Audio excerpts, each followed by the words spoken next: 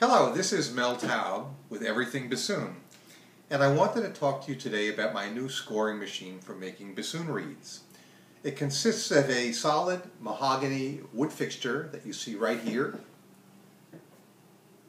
This is a metal cutting edge with finely divided cutting edges, and this is a metal stop in the back, which regulates how far the score marks go on the tube of the bassoon reed.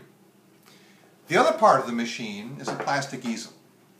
And in order to score a bassoon reed, first you start with shaped, unprofiled cane, such as I have here.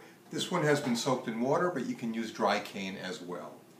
You place the cane on the easel, up to the plastic stop on the easel.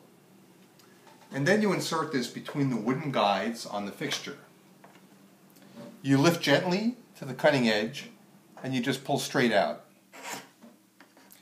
You do it two more times, turning once to the left and once to the right. And that's all there is to it.